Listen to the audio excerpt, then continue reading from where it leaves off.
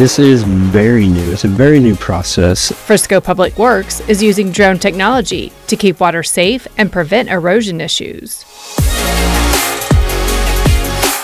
The city of Frisco prides itself in being a place for innovators. So you can actually see the riffles of the water from 400 feet up in the air. Encouragement to think outside the box led the city's stormwater division to start using drones for inspections.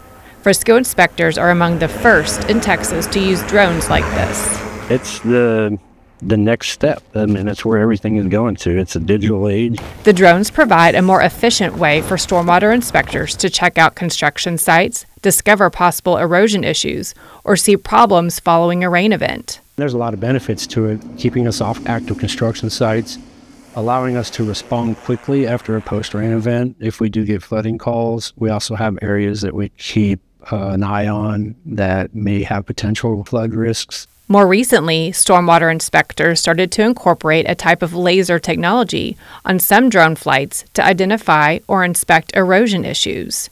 It's called LIDAR, which stands for Light, Detection, and Ranging. It's a laser light that penetrates tree canopy and produces extremely detailed topographic surveys of the ground. So we use that to peer through the canopy and get actual uh, images of the stream bottoms. The LiDAR enhanced video can be ready to view in about a half hour. We're able to create these models and they're, they're extremely detailed.